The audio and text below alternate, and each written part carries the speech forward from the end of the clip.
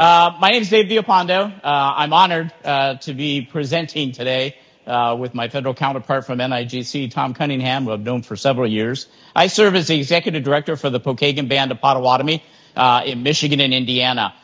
We have three properties in the state of Michigan. As you heard earlier, we have a relatively new Class 3 property in South Bend, Indiana. And, and real briefly, I want to go over my um, history only because I'm going to try and make some points, some, some compare and contrast. Uh, it, will mean something at the end. So my career track was law enforcement, 36 years, uh, 27 of those with the California Attorney General's office. Uh, the first 20 as a state narcotics officer, and the last seven as a special agent in charge of the Bureau of Gambling Control in Southern California. Uh, at the time, we had 98 card rooms, uh, commercial entities, card rooms, and 66 uh, tribal casinos operated uh, by a portion of the 109 tribes in California. Uh, and in Southern California, we had the largest casinos on the West Coast, uh, Morongo, uh, San Manuel, Pechanga, uh, as well as the largest card rooms, commercial properties on the West Coast, the Bicycle Casino, Hustler Casino, Hollywood Park, and so forth. Um, and then when I retired in 2012, I became a tribal gaming uh, regulator for a couple of tribes in California, and then for the last four years uh, for my tribe in, in Michigan, the Pokagon Band. Sir. All right. Well, you can take Dave's uh, career track, uh, kind of divide it in half, and apply it to me. Because he's so much younger. well, but we, my, my point is uh, uh, almost a mirror image. my, my career was in law enforcement first, and 13 years there, and then uh, been with NIGC for 17 years. And um, started out as a what they used to call a field, which is now a compliance officer. And went on to a region director uh, for about nine years. In the last couple of years, I've been uh, in the leadership uh, group uh, and currently the chief compliance officer. So we oversee uh, and help monitor with the tribes, you know a little over 500 casinos, uh, working with uh, around 240 tribes. That number fluctuates from day to day, whether uh, they're gaming or not gaming, or getting into gaming, or uh, starting out. So, um, under the compliance division, I have about 60 staff members uh, that are either assigned as a region director, compliance officer, or uh, as an auditor.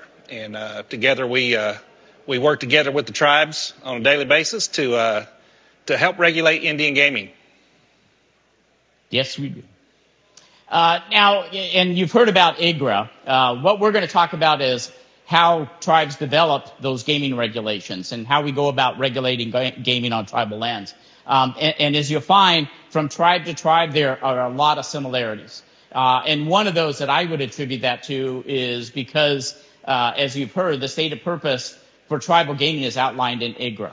Uh, and, and, and thanks to our federal overseers, we need to make sure that we craft a gaming ordinance and regulations that are consistent with the goals of IGRA. So did you want to talk about IGRA at all? Uh, just to mention a couple of things because they were brought up earlier today. Um, you know, one of the key things that, uh, one of the, one of the things, good things that come out of IGRA was, uh, that it, it federally codified that the tribes are the primary regulators on Indian, of gaming on Indian lands. And that's a real key, impo- key an important point uh, when we're talking about iGaming and sports bet, sports book, and that kind of things. Uh, if, if, if those kind of games are going on, if it's class one, which are traditional games, class two, which are your bingo base, non-bank games, non-bank card games, uh, pull tabs if you offer bingo, or class three, which is any other kind of gaming, if it's occurring on Indian lands, the tribes are the primary regulators and it's, it's gaming conducted under IGRA. And one of the other good things they did, obviously, we talked about a little bit earlier today, is that it set the uh, kind of the standards. Uh, I always call it the worst deal a tribe can get. Uh, you know, it codified that that a tribe has to has to receive at least 60 percent of the net gaming revenues from their gaming operations. They have to be the primary beneficiary of gaming. And so, uh, uh, if, you know, when when vendors come in and they're making a deal, they always want to start at 40, 60. Well, that, uh, I tell tribes that's the worst deal you can get under the law. you know, you want to you want to definitely try to start lower. And I realize that's problematic with the sports book uh, setting because uh, the profit margins are kind of narrow. Yeah. And uh, you know, there's a lot of hands in the pot. You've got the the the sportsbook provider, you've got the state, you've got the tribe, uh, and other interested parties that have come to the table and, and wanted their piece uh, uh, of the action. So those are the, those are some of the good things that come out of IGRA. There's a lot of bad things uh, that we've talked about today in the previous panels that that fell out of it too. Yes, and one of the things that IGRA did is it created our, our, our federal regulators, the National Indian Gaming Commission, uh, that uh, Tom is a part of. Um, and I'll, I'll, let Tom speak for the NIGC, but from a tribal regulator standpoint, we rely on the NIGC for guidance. We rely on the for, for advice with regard to staying in compliance with IGRA. Um, you know, NIGC and, and I would uh, close your ears, to give them their compliments. uh, with the advent of COVID, uh, NIGC went about initiating a huge initiative around training, around providing training to tribes. Uh, who regulate gaming on their tribal lands. And a lot of it is virtual. All of it is totally free of charge. Uh, and they've hit all the topics of concern to us as tribal regulators, from AML BSA compliance uh, to the control of criminal uh, record information, uh, to conducting our audits, to staying out of uh, the property, unapproved property management uh, realm. Uh, just a tremendous repository of knowledge they've shared with us as tribal regulators in what we do on a day-to-day basis. Okay, is it safe to open my ears now? Absolutely. Okay, all right. Now close yours. Okay. So, uh, you know, over the 17 years working at the NIGC and uh, uh, also was a, uh, a very short-term uh, tribal gaming commissioner uh, way back in about 2003. Um, but, you know, one of the things I've learned is, you know, the NIGC is a small agency. there are over 5,000, maybe over 8,000 tribal regulators across the country. Uh, and uh, when when something new comes about, uh, we might not be the expert, and chan- chances are uh, we probably are not the expert on that cutting edge te- technology and anything that's happened on a day to day basis at the tribal level. And so uh, it's important for us to pull in those uh, those uh, colleagues and, and, partners in regulating and, and, and learn from them what, what's going on. So you'll see Dave mentioned our training programs that we've worked on. Uh, we try to to build those panels so that it's it's tribal representation, NIGC representation, representation, and sometimes the state as well.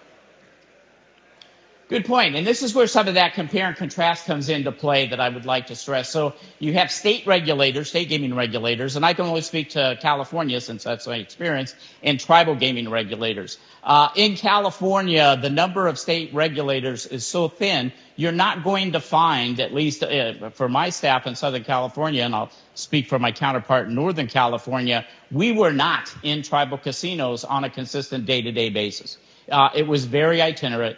Uh, it was it, was very sporadic. Nor were we on commercial properties on a 24/7 daily basis. Uh, as with most other state regulatory agencies, we had a law enforcement mandate as well. So investigating illegal gaming operations uh, in the community, internet gaming, internet cafes, those types of illegal, unapproved gaming was the charge for the state regulator.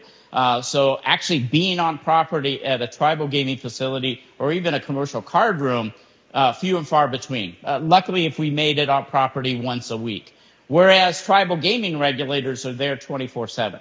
We are the presence uh, within that tribe. And the other thing to consider is the mission slightly different. So because of our ordinance, because of the way IGRA is, tribal gaming regulators have basically three mandates. So as we go through the regulations, you can get it down to three common denominators ensuring the integrity of gaming, protection of tribal assets, and providing for public health and safety. Just about every regulation that's created can be traced back to one of those, one of those three mandates. Whereas state game, gaming regulators, we work on behalf of the state. We protect the interests of the state. We protect the interests of the gaming public. So integrity of gaming, absolutely. Protection of tribal assets, not so much. Ensuring that the state receives uh, its fiscal revenues? Absolutely. Read any tribal, tribal state gaming compact, and a lot of those sections have to do with ensuring the revenues uh, that are due to the state come to the state. Uh, so where that comes into play is as an independent arm of government for tribal regulation. I, I work uh, uh, ultimately, my gaming commissioners are appointed by tribal council, independent arm of government. We work to protect the operator because the operator's revenues are what drive programs on tribal lands. When I was a state regulator, I'd get a call from a card room or a casino, uh, tribal casino, and the complaint was against the vendor. Hey, I'm having trouble with this vendor.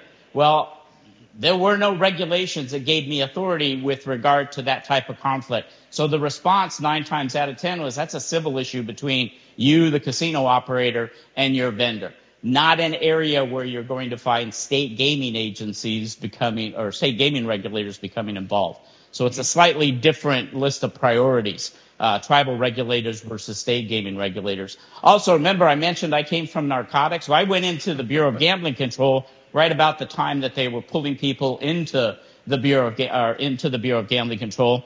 All of us came from narcotics. And still to this day, many state regulators come from law enforcement agencies. Very rarely do you see state regulators coming from the casino industry. Whereas in my tribal gaming commission, we bring people from casino surveillance, from slots, from table games. That expertise is built in when they come into the gaming commission, tribal gaming commission, in terms of skill and expertise. Almost non-existent for those coming into state regulatory agencies. I think uh, my, my, wife and I went to a casino once for the buffet uh, before I actually went into the Bureau of Gambling Control. Uh, so it's it just not something. So my point is, I would hold the skill and experience of any tribal gaming regula- uh, regulator against the state gaming regulator any day of the week and twice on Sunday. It's just a fact. Yeah. Um, not to disparage state regulators. They're really nice people, but the expertise frequently isn't there. Uh, we derive, uh, derive, our regulations from the tribal ga- gaming ordinance. That's the law. Now, if you read tribal gaming ordinances, you'll find that there are commonalities from one to the other.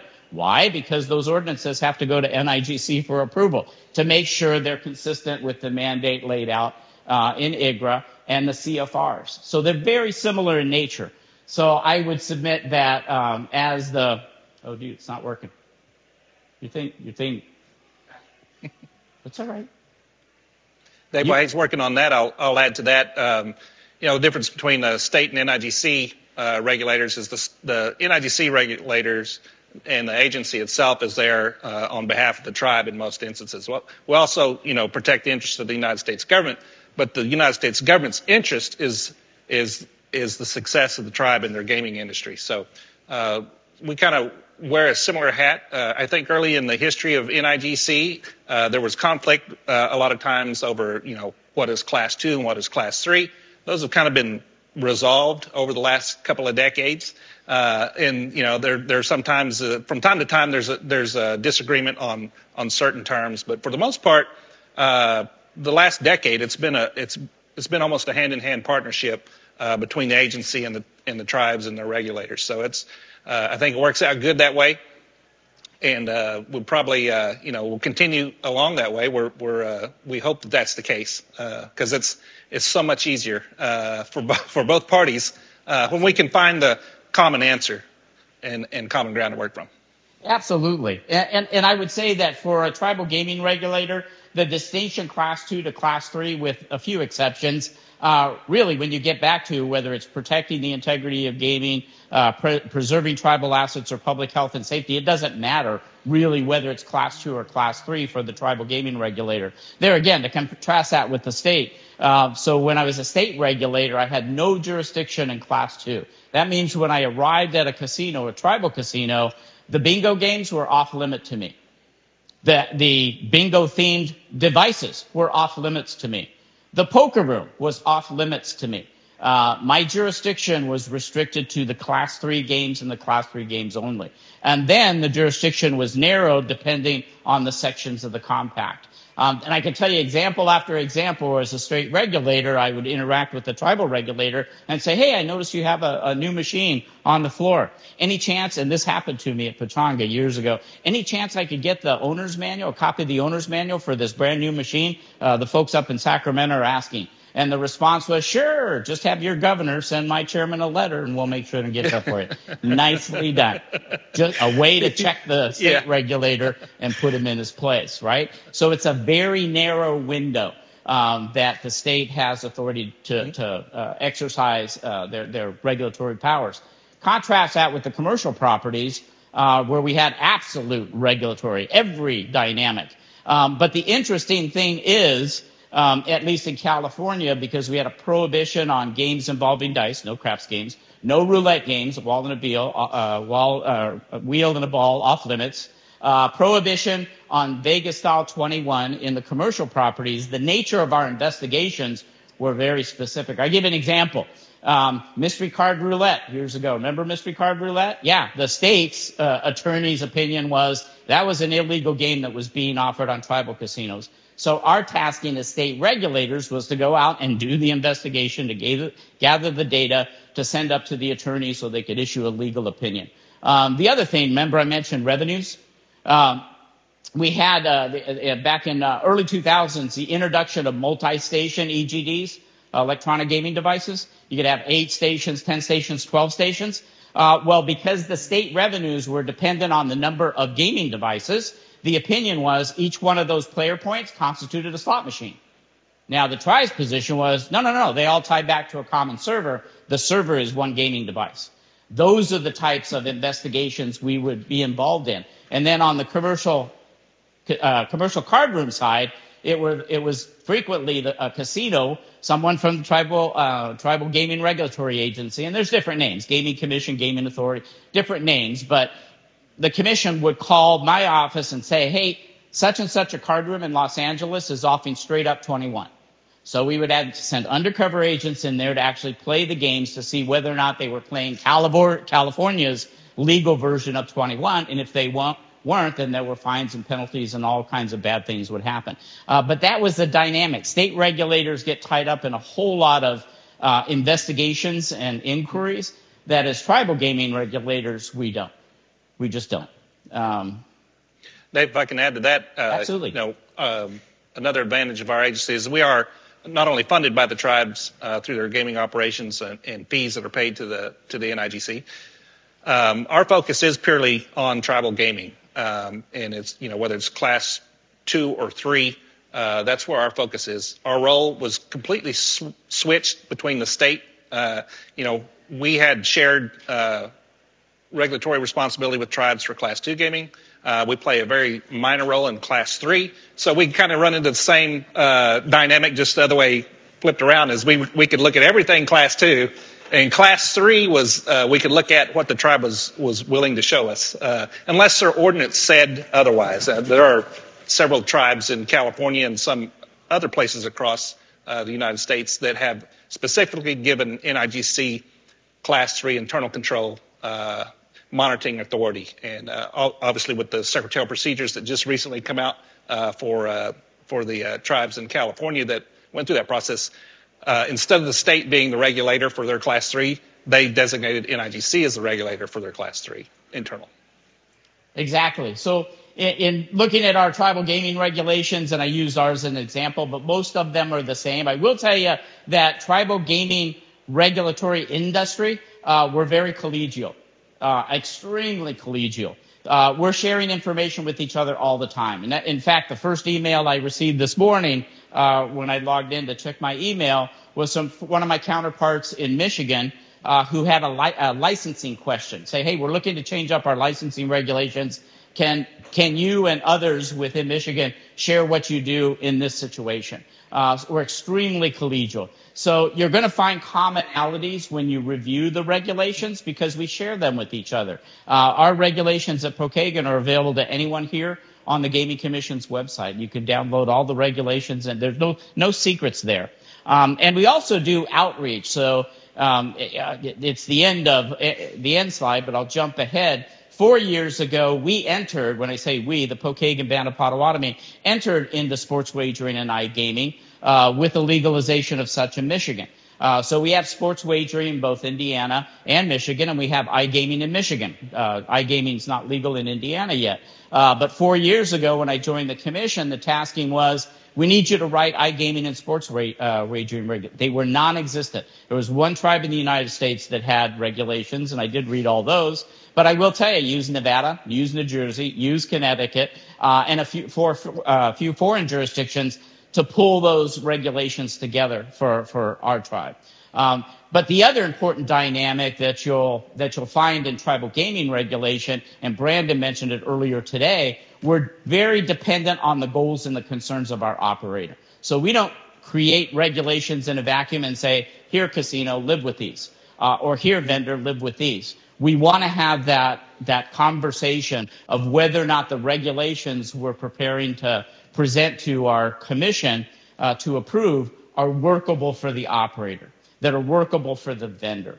Now, we didn't have that four years ago because we didn't really know who we were going to partner with, or the casino didn't really know who they were going to partner with. So we created the regulations. They were imposed on the platform provider that we negotiated with and uh, the sports wagering company, uh, as well as all the, the contributing content providers.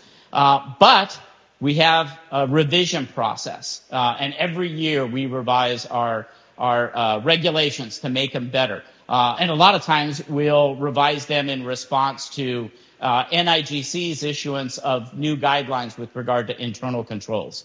Uh, and usually our independent audit company uh, that audits the casino will come back and say, we recommend the Gaming Commission change the internal controls to meet NIGC's new guidelines. So we do that review every single year. Uh, but the first year was our opportunity to reach out to the vendors and say, what was the grief? What were the challenges? in our regulations to you furthering your business goals. Because if we can change those to meet your needs and still maintain our regulatory uh, responsibility, we're good to go with uh, recommended changes. So we have changed those over time.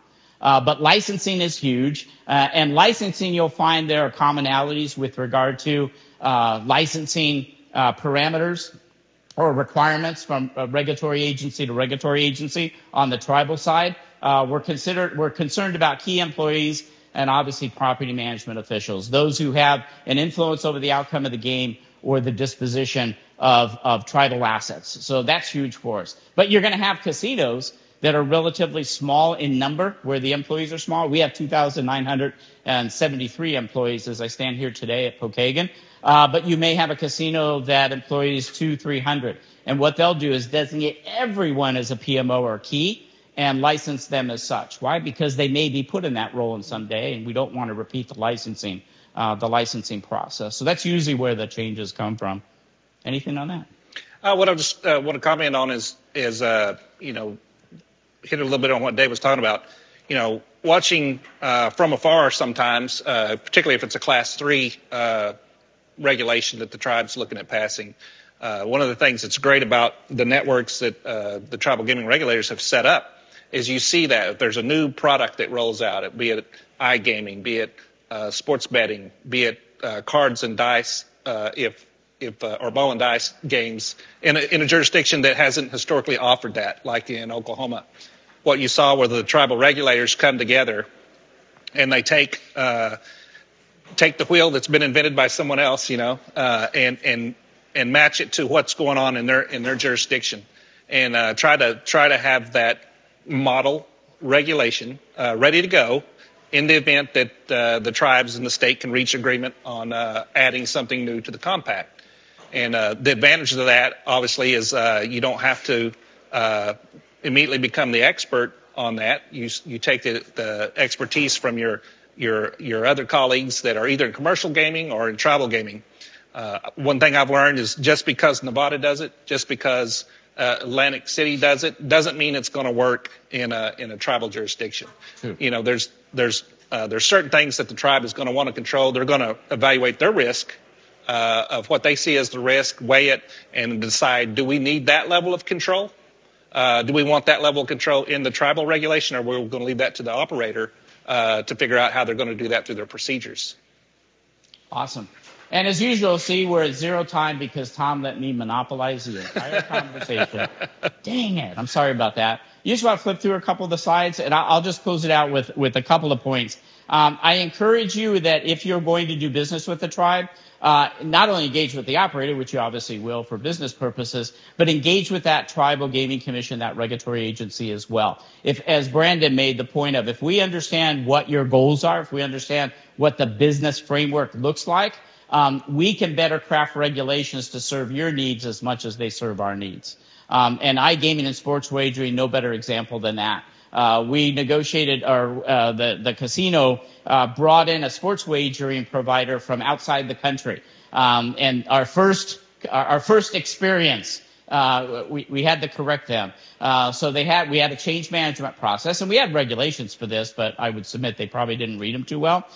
So they sent us a note saying, hey, we're going to, uh, we're going to update the software in the kiosks, right? Uh, so they did that remote and then immediately provided uh, those kiosks for for uh, engagement by the patrons. We had to correct them and say, eh, timeout. Uh, we have a standalone game technology unit within our gaming commission, and we're required to verify that software with the independent gaming lab before you can offer it to patrons. So understanding what those regulations are and the dynamics will keep you from stepping into uh, mistakes right at the outset. And we've managed to to fix that with our providers. And there again, it's an ongoing conversation. Let us know what you need and, and we'll craft regulations on the part of the operator to protect them uh, and make sure that the vendors succeed. Sure. Uh, Dave, if I'll just make one quick plug. Uh, we talked, heard the other panelists talk about it today. Declination letters. Uh, that's something that our agency offers uh, both to tribes and to vendors. Uh, and that's if you're about to reach an agreement or you think you're going to come up with a template agreement that you might want to use with different tribes. Uh, you can send that template letter in unexecuted. In other words, no one signed it yet. Uh, you can send it into our Office of General Counsel. They will go through it and they will look at that document and tell you, is this a management contract? Is this a sole proprietary interest uh, violation? Uh, what they try to do is identify any any control by the vendor uh, that would lead to management. If it is management, it's not a game stopper. It's just you should go through the management contract approval process. But if you don't want to be a manager, uh, they'll work with you to help take out that language and provide you a little bit of guidance on how to stay out of that camp if you don't want to be a manager. And also, you, obviously, we take a look at the, the sharing of the revenues uh, for SPI purposes. So it's a, it's a really good tool. It's free uh, or at no cost. Nothing's free. The tribes have already paid a regulatory fee that covers the cost of those products. So uh, take advantage of it when, when time permits and uh, it can save you a lot of trouble down the road because for vendors, it's important to know if you get hit with the managing without an approved contract violation, usually one of the punishments is is that you don't do business in Indian country for a set amount of time. And so you're not just done there at that tribe, you're not just done in that state, you're done across the country. And that's you know that's that's a very heavy impact that you, you want to try to mitigate before you ever get to that position. Really good point. Well, uh, thank you everybody for attending, and uh, hopefully you'll have access to the presentation. If not, if you want to give me your business card, I'll make sure you're entered into the MacBook raffle uh, after I record your, your info. All right. Thank you, everybody. Thanks.